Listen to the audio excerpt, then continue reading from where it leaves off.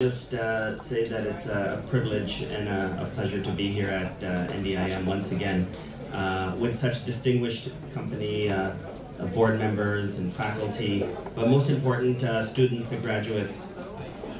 I wanted to simply, in my sort of comments, which are intended to offer some blessings to you, simply, uh, first of all, start off by saying a heartfelt, warm, and sincere congratulations to all of you for this uh, success as graduates.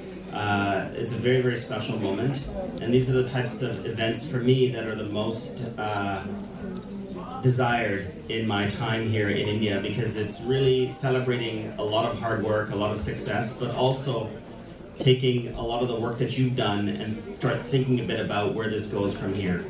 And in my uh, comments, I'm simply going to leave you with three thoughts, three words, in fact, uh, all of which happen to start with an I. Inspire.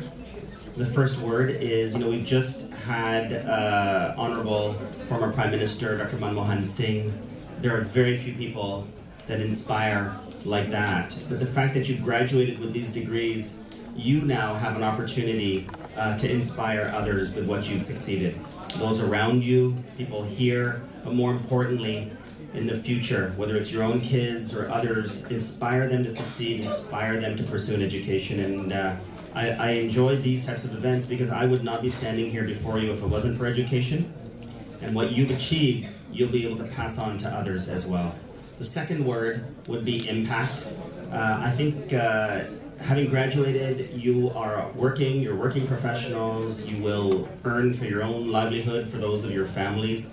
But I would also urge you to take what you've learned, take your graduation, take your degree, your diploma, and uh, pay it forward. Look at ways in which you can have impact. Um, I think, uh, you know, we heard earlier about starting companies, entrepreneurship, creating jobs for others, giving back in ways that you can use your education for the further growth development and prosperity for India and also other countries around the world uh, as well.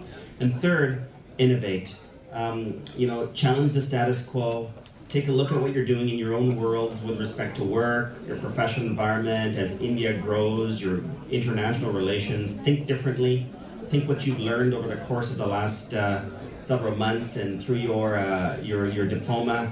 Uh, how can you use that to go outside the box in terms of different types of thinking. So if you inspire others just as you have inspired uh, us today, uh, if you think a little bit about what impact you can have after having completed, no doubt, a very difficult set of studies to graduate today, and also how you can think differently and innovate. Uh, I think taking what you've learned and taking this diploma can really, really help take India, take society here to even greater heights thanks to you. And I think what this means is that there's a responsibility that comes with your education just as much as there is success. And use that responsibility, use it wisely, take advantage of it. Um, no one will ever take that education away from you. What you do with it can go far beyond your professional worlds, and I think I would encourage you to think about that. So I wish to offer you all the best of success, best wishes, blessings for an extremely prosperous career ahead of you, and uh, look forward to engaging in different uh, paths down the road, whether it's through your professional studies or perhaps in Canada someday as well. Congratulations.